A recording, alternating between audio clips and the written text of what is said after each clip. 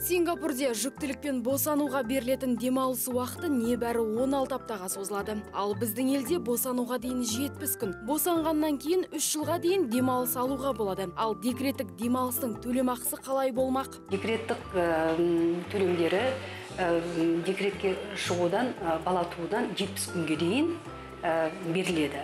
Ал енді бала туғаннан кейін 56 күнге дейін ә, тағы да беріледі. Егер ә, екі бала немесе одан көп бала беріл- ә, туса онда 70 күнге дейін туғаннан кейін 70 күнге дейін тағы да беріліп сол, сол уақыт төленеді. Және бұл төлемақыны декреттік демалысқа 3 күн қалғанға дейін беру керек. Ал декреттік демалыстағы сондай ақ жүктілік кезінде жұмыста жүрген ананы ешкімнің жұмыстан шығаруға құқығы жоқ. Егер істеп жүрген жұмысы жүкті анаға зиян болса, ә, ауыр болса немесе ә, зиян ә, жұмыстар болса ол әйелге жұмыс беріп жатқан жер жеңіл жұмыс тауып беру керек.